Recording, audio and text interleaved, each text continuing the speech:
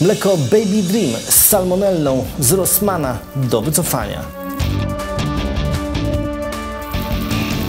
W ramach regionalnego programu operacyjnego województwa opolskiego na lata 2014-2020, współfinansowanego ze środków Europejskiego Funduszu Społecznego, oddział ginekologiczno-położniczy Szpitala w Nysie wspólnie z Centrum Ginekologii, Położnictwa i Neonatologii w Opolu oraz Uniwersyteckim Szpitalem Klinicznym w Opolu zaprasza na bezpłatne badania kobiet ciężarnych poniżej 35 roku życia.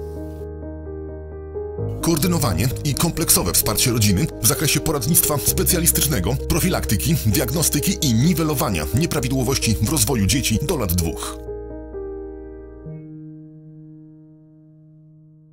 Główny inspektor sanitarny zdecydował o wycofaniu z sieci Rossmann produktów potencjalnie zanieczyszczonych salmonellą. Niebezpieczne mikroby mogą się znajdować w mleku Baby Dream.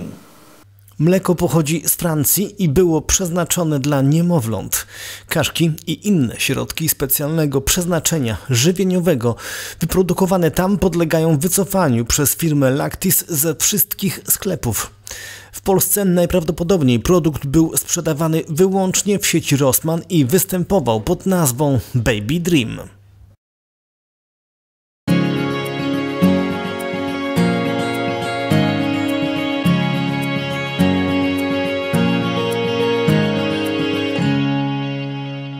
Finans poleca Nysę.